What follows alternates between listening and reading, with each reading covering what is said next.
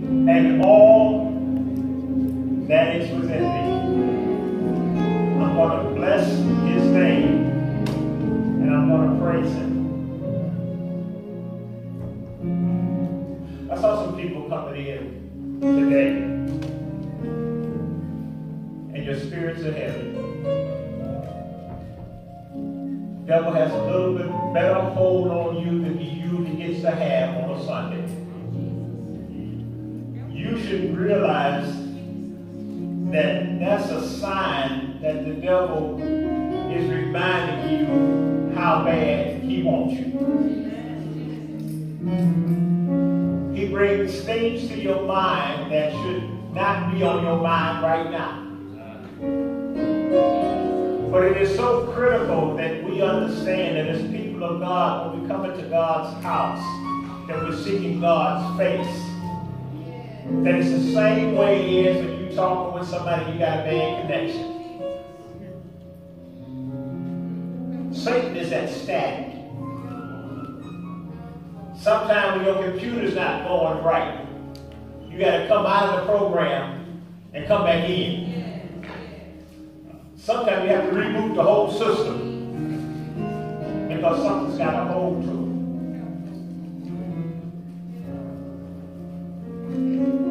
You know it is with that spirit that this message was prepared. You look at your bulletin and you see what the title of the message is. It's not one of those sermons where you got to get two thirds through the sermon and then find out what the title is. No, we're talking about you are more powerful than you realize. You are more powerful than you realize. I want to read the scripture that Minister Jones read again, but I want to read it from a different translation. It's a translation called The Voice. And this is what it reads. Jesus says, Listen, disciples. If people give you a hearing, they give me a hearing. If they reject you, they're rejecting me. And if they reject me, they're rejecting the one who sent me. So go now. When the 72 completed their mission and returned to report their experience, they were elated. They were excited. They said, It's amazing, Lord. When we use your name, the demons did what we say. Jesus looked at him and said, I know. I saw Satan falling from above like a lightning bolt. I've given you true authority. You can smash vipers and scorpions under your feet. You can walk all over the power of the enemy. You can't be harmed. Amen. But listen, that's not the point. Don't be elated that the evil spirits leave you when you say leave. Rejoice that your names are written in heaven. It's the word of God for the people of God. So again, I want you to think on the thought that you are more powerful than you realize.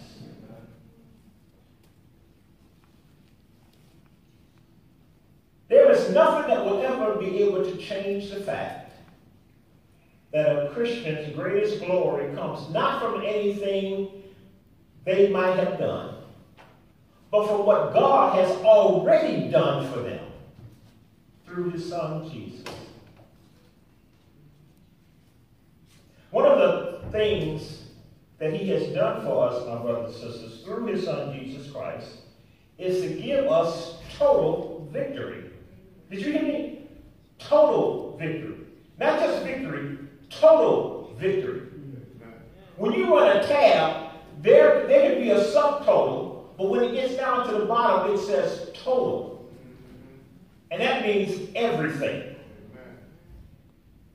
He has given us total victory through the cross of Christ to fight and win. Amen.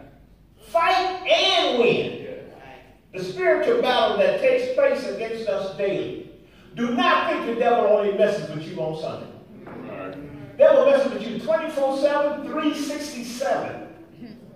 He said, Pastor, it's only 365. The evening of UP is only 367. Well, he messes with you 367 because he wants you to know that he always messing with you.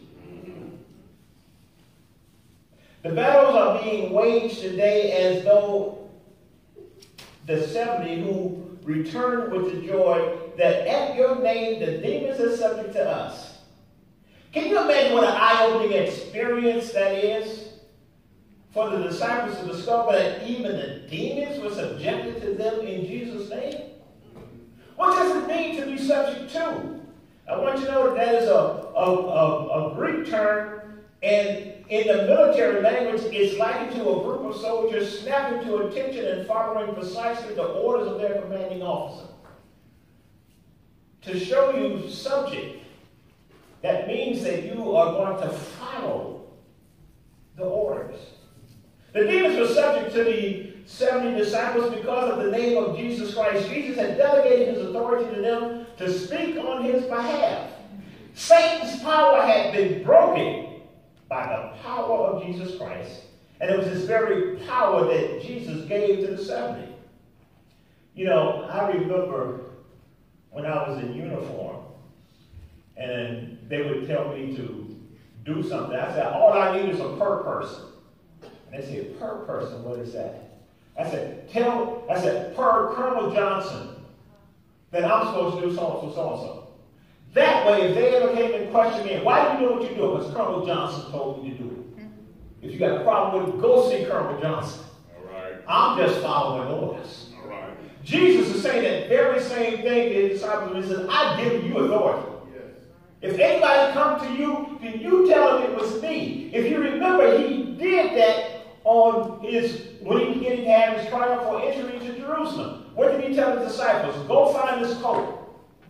And when they ask you what you doing with this coat, tell them the master has need of it. That's right. That's right. The scripture said that he told them that, and what did they do? They walked away with the coat. The demons are subjected to the power of Jesus. The thing to note that in this divine power authority was given to flawed, sinful human beings. Perhaps this is why the disciples returned maybe just a little too happy with what they did in Jesus' name.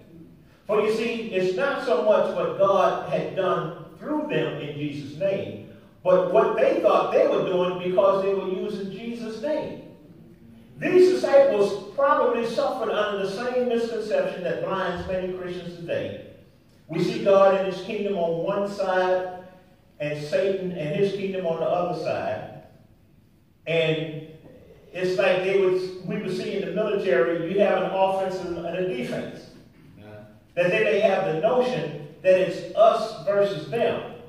One of the things that they didn't realize was that, or that they didn't realize, that both kingdoms have power. Do not downplay Satan. Do not play him cheap. He is powerful. Okay? Or at least he's more powerful than us. You remember in that in that little joke that the that the uh, when the two men were running in the forest and the bear was running after them, and the other man says, "You can't outrun the bear." He said, I don't have to outrun the bear, I just have to outrun you.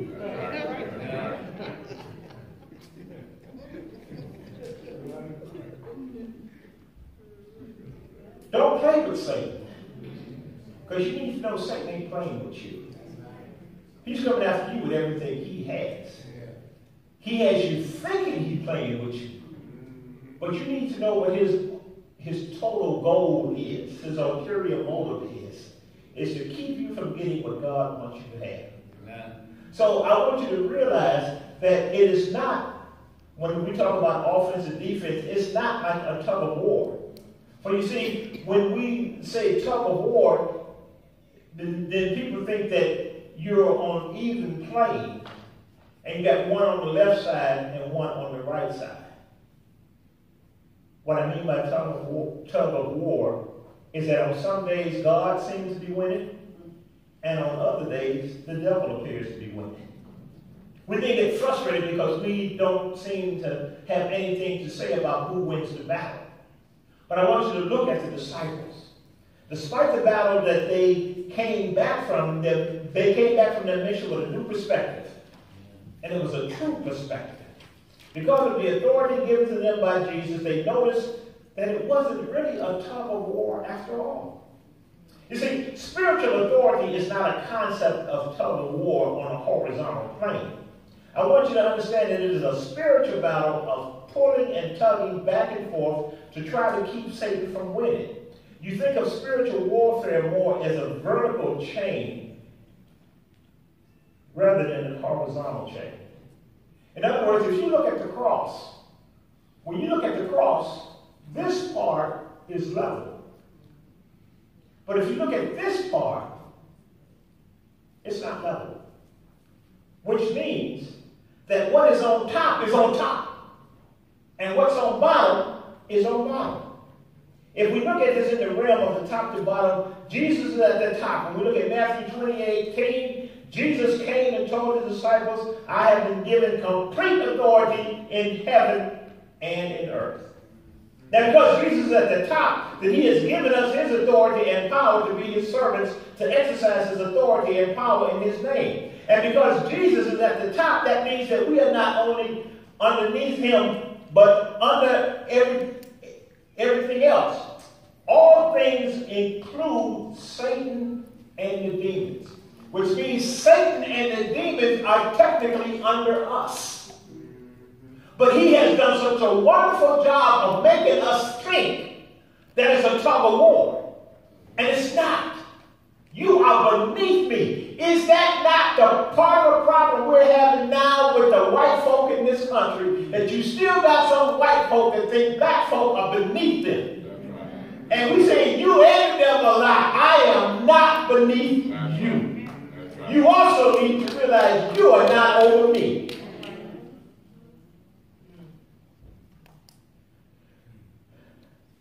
Our good news is that when we are under God, then that must mean that we cannot be any, that there cannot be anything or anything else between us and God. Let me say that again. There's nothing between us and God. We come under direct authority of God. This means that Satan and his demons are below us. In other words, they are at the bottom.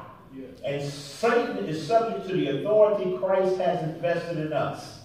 Why then, if that is the case, does the kingdom of darkness still exert such negative influence in the world and in the lives of Christians? In one word, it's a lie. It's a lie.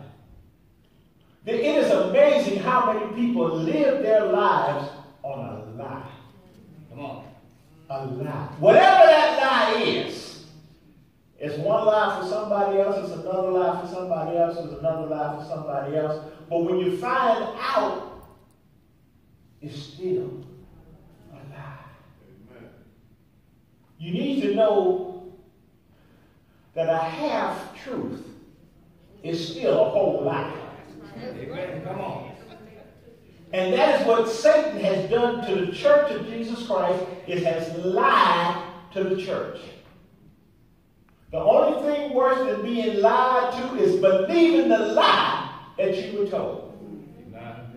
And that's what the, the church has done.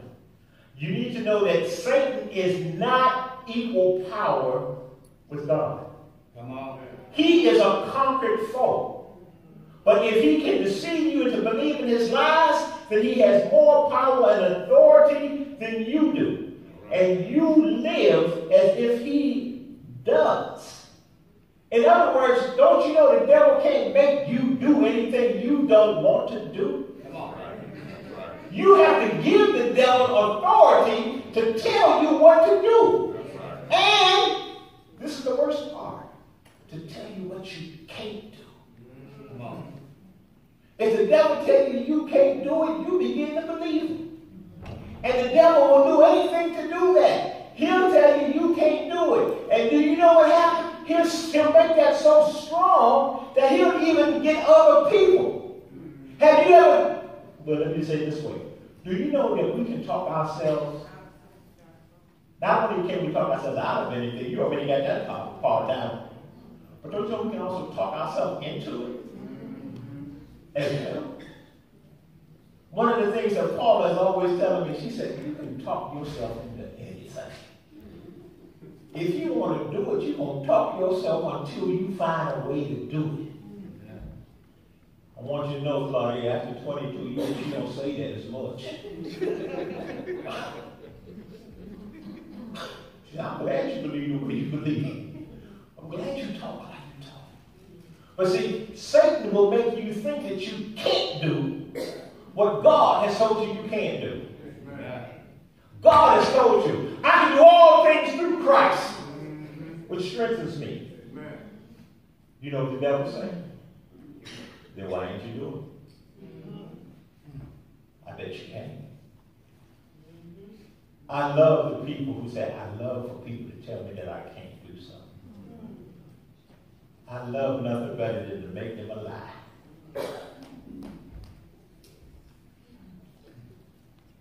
Satan does not have equal power with God. We have to remember that. He is a conquered foe. I didn't say will be conquered. I said he's already conquered. Did you hear what Jesus told his disciples? I saw Satan cast out of heaven. I was there. I saw it. Not only was he cast out, but it was him and one third of his cronies. They were all thrown out. Why? Because they tried to be God. And God said to them, when our mom and daddy said to us, there's only one king and queen in this house. When you can no longer do what I tell you to do, you need to go. So Satan couldn't be God in heaven, so he decided to become God in earth. But even that's a lie.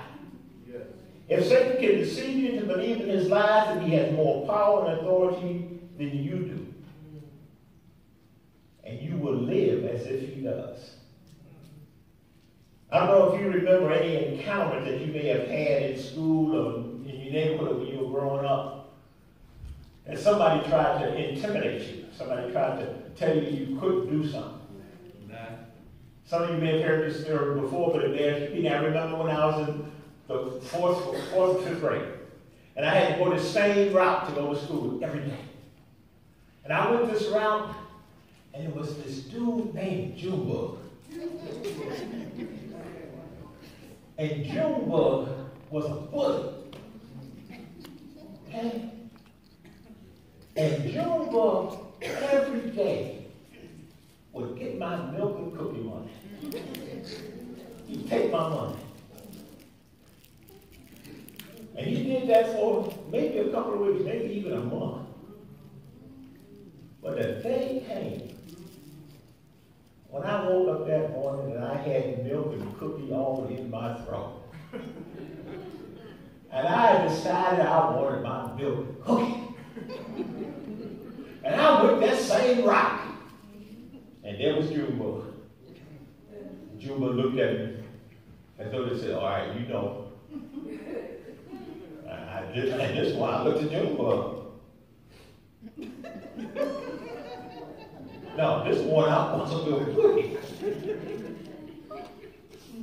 When that tray come around, I want to get my sugar cookie and my chocolate milk like the rest of my classmates. Now, I ain't going to tell you that I whooped Junebug. I ain't going to tell you that. What I will tell you is I got some milk and cookie that.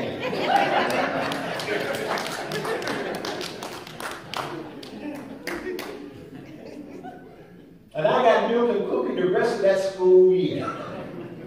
Because when Junebug saw me, he knew he'd be in for a fight. So he had to decide whether or not he wanted to fight or not. And it was many a day that I enjoyed milk and cookies.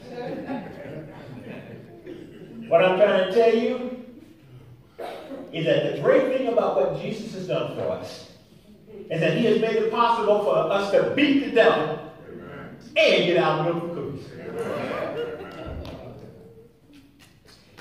We've been given authority over the devil, over the kingdom of darkness, but if you don't believe in it, you don't exercise it, and it says if you don't have it in the first place. The Greek word used for authority in verse 19 was, was purposely chosen to prove to us that we have the right to exercise and use God's power. This is not a statement to say that all we have to do just access the God's power by implying that God is authorized to distribute it. But we can use God's power because God has told us we can, and God has showed us how to use it. The authority God gives to us is the right to rule based on our position. You have the authority to do the will of God because you have your position in Christ. That's what Jesus meant when he said to the disciples, don't get excited because the devils will bear what you say. Get excited because you're a child of God. Get excited because your name is written in the Lamb Book of Life. Don't you know that when you realize your name is written in the Lamb Book of Life, and there's other things that come with that? Amen. we need to realize that it is an authority that you can never have independent of God. That is one of the biggest problems that we have as the church of Jesus Christ. It's even one of the biggest problems we have as God's children, is we think we can do it without God. And God says you can't do that. It's my power. It's my authority that's been given to you through my son, Jesus Christ. So if you don't get excited, get excited because you're my child. Get excited because when you're my child, there are things that come to you. Those of us that are parents here remember there were things that our kids didn't have to ask for. You got them because of your position. What was your position? Use my child. Use my child. And being my child, you get this. I think we need what we need to do. It's just once and for all, we need to go back and start over. We need to start over by making a conscious effort to take our enemy seriously. See, Satan fell from the sky like lightning, and we've been at war with the adversary. There has never been a moment that we could call peacetime in the Christian world. However, we must understand that it is Satan's consuming desire to destroy God's work, which is our lives, which is our witness and our ministry. He wants us, he even wants to destroy us. Remember what the scripture says? He's like a roaring lion, seeking whom he may devour. Satan will do whatever he has to do to get us from using the authority that God has given us. He wants to deprive God of his glory and keep us where we are. There are too many Christians that are weak and are not willing to do what it takes to become strong. Satan has you thinking that it's too hard. Amen. One of the things that they would say, you know, education is so expensive. If you think education is expensive, then try ignorance. God sent his son to live our life and to die our death so that we could have the power to be his children. Amen. Satan wants to keep us powerless. And when he keeps us powerless, then we don't live to the glory of God. Because we're spending our time saying what we can't do. And we are so good at saying what we can't do that we believe it, and if we say it strong enough, we get other people to believe it. Mm-hmm. Now, you know the danger of that? Is that birds of a feather will flock together. Miserable people will hang out with miserable people. And miserable people will talk about people who are trying not to be miserable. Let me put it in a vernacular that you can understand. I tell people, you never, when, when you get haters, know that your haters are not people who do it more than you. Let me say that again. Your haters are not people who do it more than you. Yeah. Your haters are people who do it less than you. They're the ones that got time to watch you. See, a productive person doesn't have time to sit up and watch people who are particularly not being productive.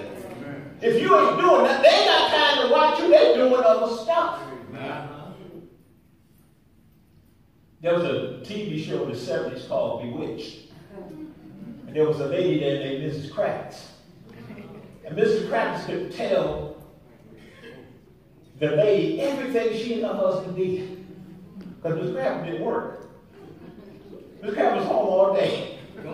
Something happened and she looked through the window. And she out to the porch. Well, see, if you at work, then you can't see what's going on at somebody else's house. And so what the devil does is he gets you focusing on other stuff. And the other stuff is you talking about people who ain't doing nothing.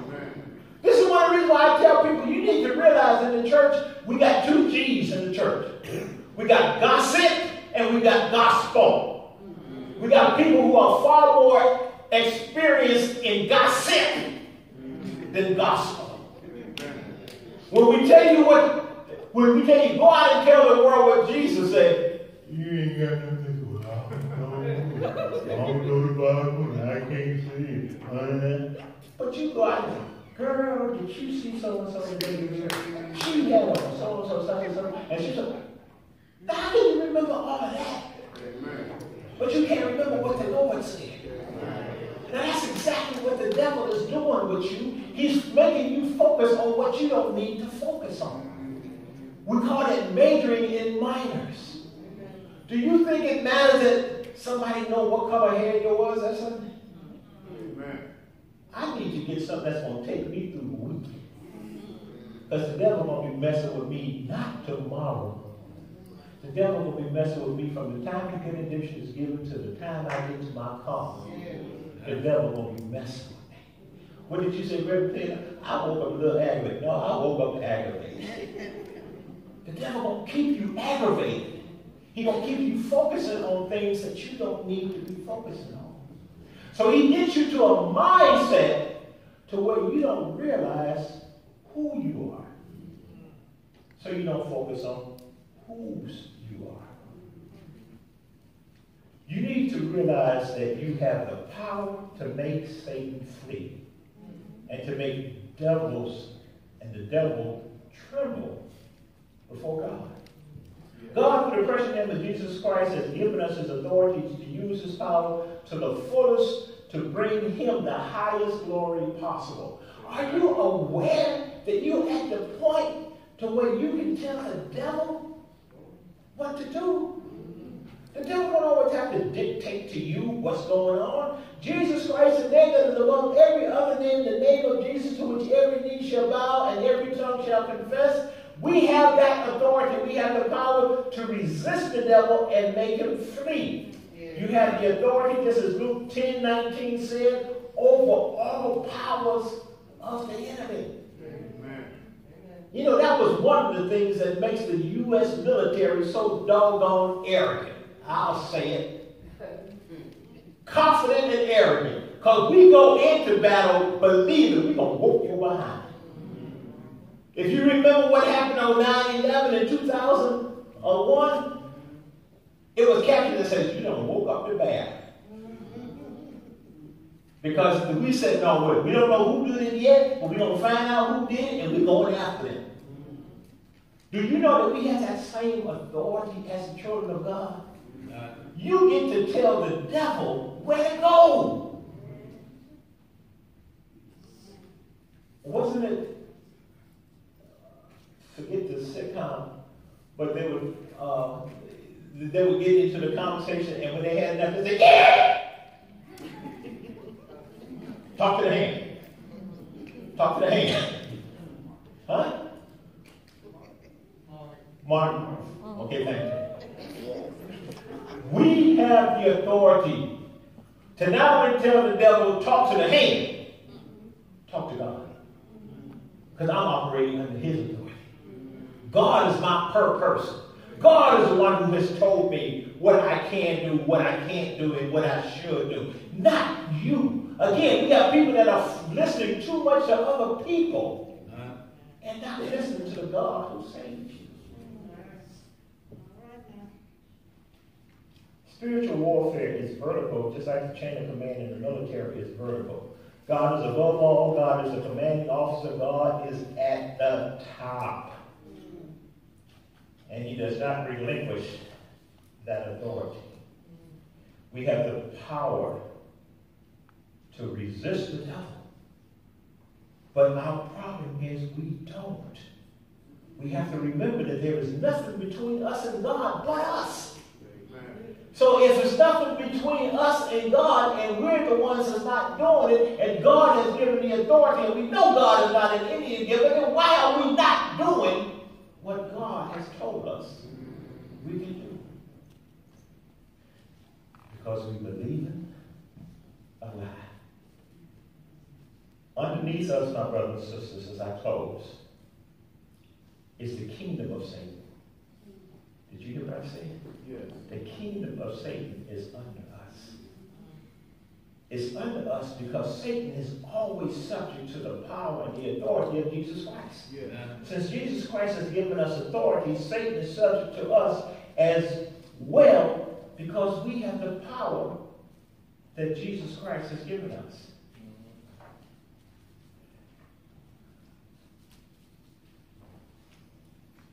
I don't know if you realize it, but this year is our seventh year together.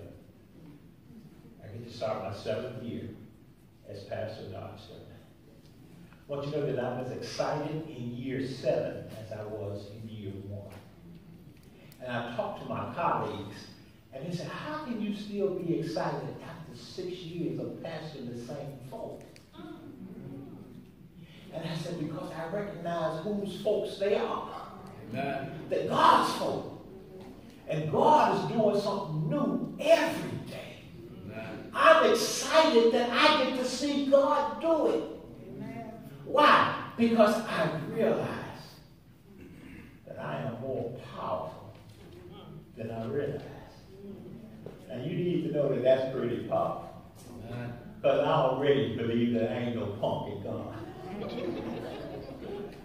I wake up every morning and when the devil sees my eyes open and my feet touch the floor, I want you to know the devil said, oh, shoot. He's up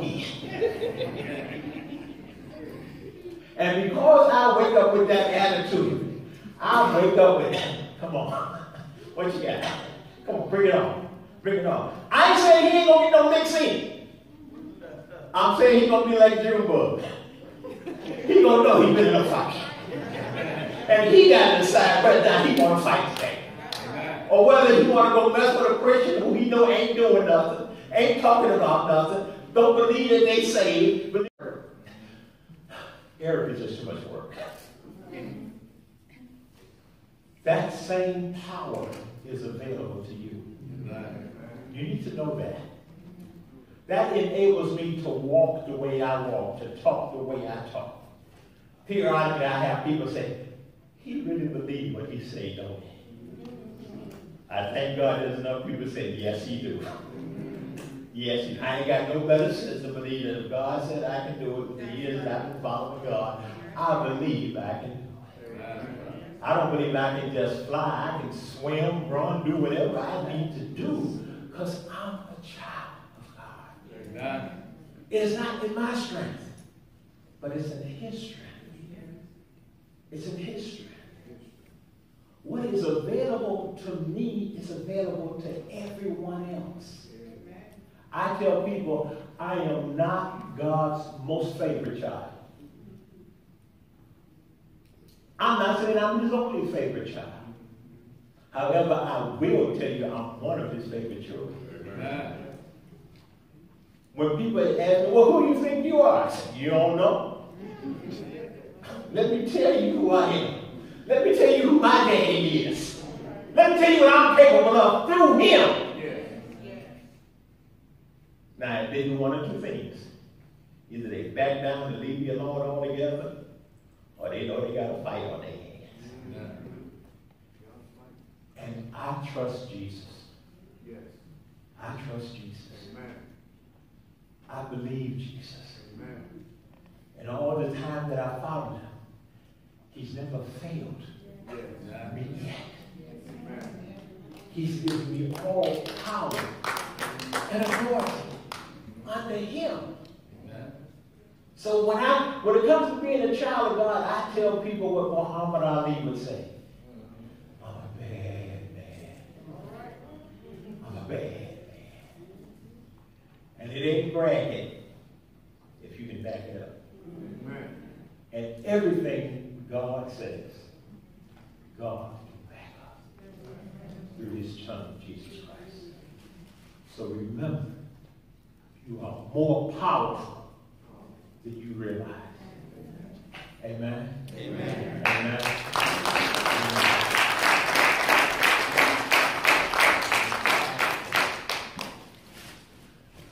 There may be somebody here who say, you know, that sure sounds good.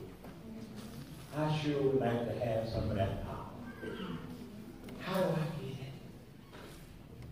You get it by, first of all, accepting in your heart that you're a sinner. And that you need Jesus Christ to pay for your sins. Then the next thing you need to do is to get up out of your seat and come forward and give Christ your hand and your heart. Now, why do we have you do that? Because Jesus came from heaven, gave his life for us. He's asking for our hand and our heart. If he came that far from heaven, and it took him 42 generations to get here, I would like to think you could come a couple of feet to give your life to Jesus. Now, I can tell you, that is the best move that you will make in your. Let me also tell you that that is the one move that Satan does not want you to make. Because he knows that once you accept God, once you accept Jesus as your Lord and Savior, that means he no longer has power over you. And have you seen people that have power give up power? No, they don't give it up. You gotta take it. You gotta it. So the devil won't be messing with you right now while I'm talking. If you haven't accepted Jesus Christ, I already know the devil in your head. And he said, look, don't listen to that man. You don't really need Jesus like he said you do. You find just like you are. Now remember what I told you in the sermon. It's a lie. It's a lie. If he gets you to believe the lie, he won't keep telling that lie. But if you accept Jesus, Jesus will reveal that lie to you and will give you power like Georgia Power ain't never seen. There is no solar panel system that can give you the kind of power that Jesus has already given you. It's already in you. Yeah. You just ain't flipped the switch. The devil's made sure you can't find the switch. Because you know once you hit it, then it's over for you. So we extend to you the invitation in our physical sanctuary and our virtual sanctuary. Anybody who doesn't know Jesus Christ in the pardon of his sins. Amen. The Bible says, whosoever will, let him come. And if you wonder what category you're in, let me help you. You are whosoever. Mm. You are whosoever. I don't care what you've done. I don't care what you haven't done. You need to know that there is no sin that you have done that God cannot forgive you for. It is at this time you need to listen to Jesus more than anybody else. Because as you stand, as you contemplate, I can already tell you the conversation that Satan is having with you.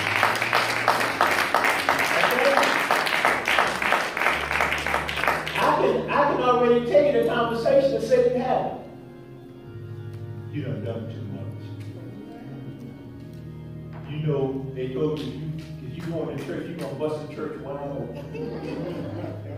Well, you know, you see we still here. We can stand it. What you can't stand is to be without Jesus. Don't get intimidated that, it's, that we have one come up. We don't have a quota. We will take as many as Jesus will send us. I want you to know that this is one of the few churches where we, we, we realize we don't get to choose who gets saved and who don't. That's between God. That's the Holy Spirit's job. We told God, you send them to us, we're going to love them. You send them to us, we're going to take care of them. You send them to us, we're going to bring them up in your word. Will there be enough? Will there be enough?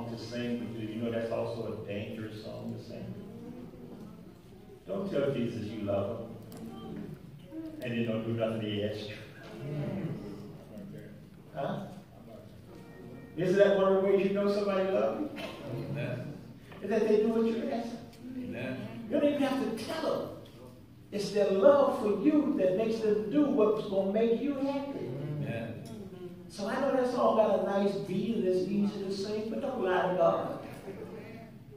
But God said, don't say you love me, and then don't do nothing I ask you. And everything that I've asked you to do, I've given you the power and the authority to do it. Amen?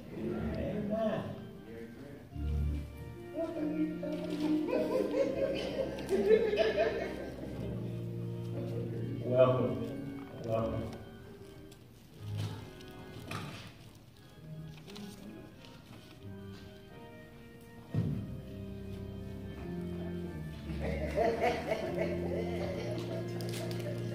God, so we have Lakia Milton. Walker. Walker. Lakia Walker coming to join us on her Christian experience.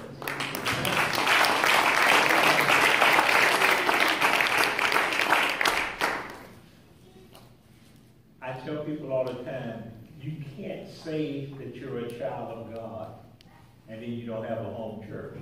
Mm. God don't have no homeless kids. So if you're a child of God, you ought to have membership someplace. Mm-hmm. Okay? In her case, she's transitioning from another state. And I always get excited about that because there's so many other churches she could have went to. Amen. But she chose this one, and I'm excited about that because she has been active in the church and she wasn't even a member. She's here on Tuesday with our food distribution. Huh? And she's looking for ways to get more involved in the church. So we are happy to have you. We are excited. We are as excited as the disciples were when they came back and told Jesus, the devils did what we told them. We welcome you.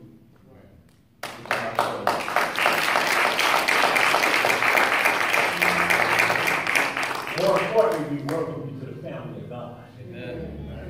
Because you, when you join the family of God, we just like every other family.